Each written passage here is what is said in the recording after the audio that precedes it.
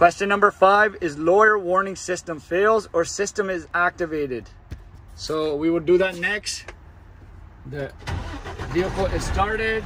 Pressure is between cut in and cut out ranges. Specifically, you have to say the pressure is above 90. And as you can see, it's above 100. So we can say the pressure is above 90. Next, we you would pump the air brakes, pump the service brakes to lower the pressure.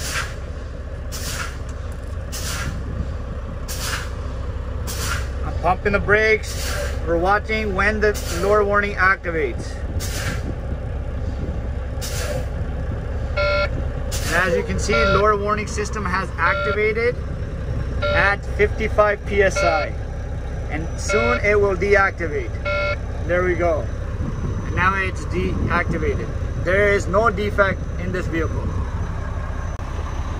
After that, we would read the defects, which is 1.6 M low air warning system fails or system is activated. It is a major defect. I would write this in my logbook. I would call the operator. The vehicle is unsafe to drive.